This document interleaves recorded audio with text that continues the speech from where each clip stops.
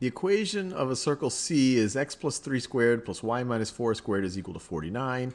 What are its center hk and its radius r? So let's just remind ourselves what a circle is. You have some point, let's call that hk. The circle is a set of all points that are, that are equidistant from that point. So let's take the set of all points that are, say, r away from hk. So let's say that this distance right over here this distance right over here is r. And so we want all the set of points that are exactly r away. So all of the points x comma y that are exactly r away.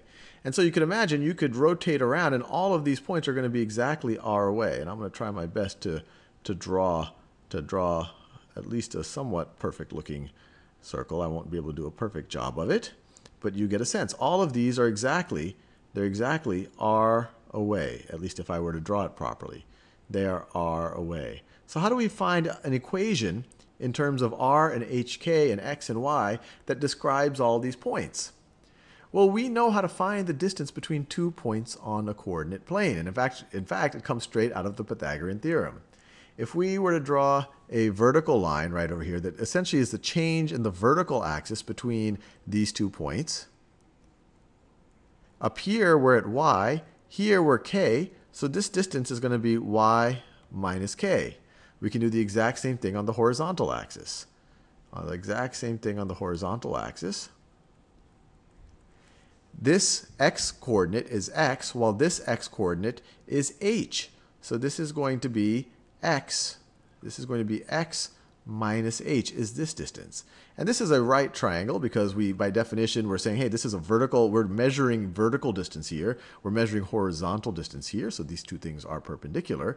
And so from the Pythagorean theorem, we know that this squared plus this squared must be equal to our distance squared. And this is where the distance formula comes from.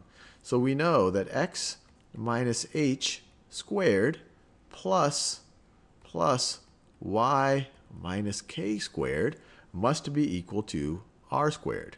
This is the equation for the set. This, this describes any x and y that satisfies this equation will sit on this circle. Now with that out of the way, let's go answer their question.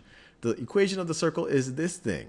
And this looks awfully close to what we just wrote. We just have to make sure that we don't get confused with the negatives. Remember, it has to be in the form x minus h, y minus k.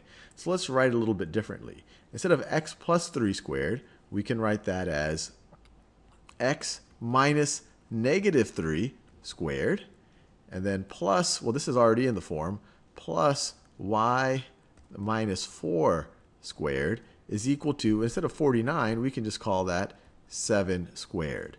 And so now it becomes pretty clear, pretty clear, that our h is negative 3. I want to do that in a, I want to do that in, in the red color. That our h is negative 3, and that our k is positive 4, and that our r is 7. So we could say h comma k is equal to negative 3 comma positive 4. Make sure to get the, you know, you might say, hey, there's a negative 4 here. No, but look, it's minus k, minus 4. So k is 4. Likewise, it's minus h. You might say, hey, maybe h is a positive 3. But no, it's you're subtracting the h. So you'd say minus negative 3. And similarly, the radius is 7.